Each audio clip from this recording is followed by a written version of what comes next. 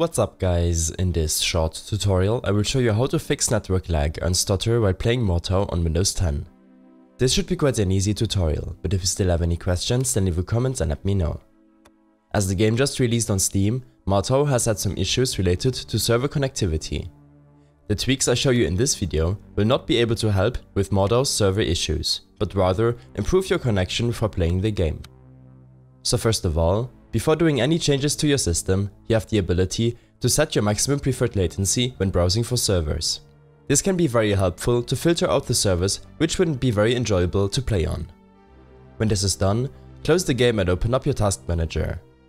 Here, on the performance tab, navigate to the resource monitor as you can see in the video.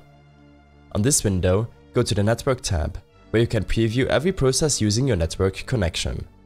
In my case, that would be Steam, Spotify or Chrome running in the background. Make sure to close bandwidth intensive programs, like the Epic Games Launcher, which could potentially download updates in the background. But make sure to only end the processes which you know won't break your operating system.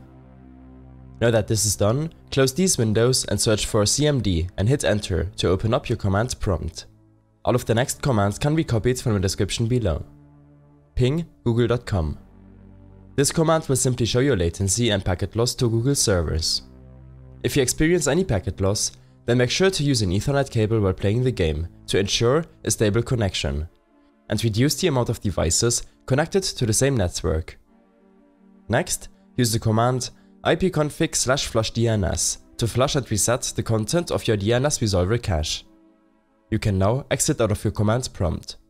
And as always, Make sure that your operating system is up to date to get the most out of your components.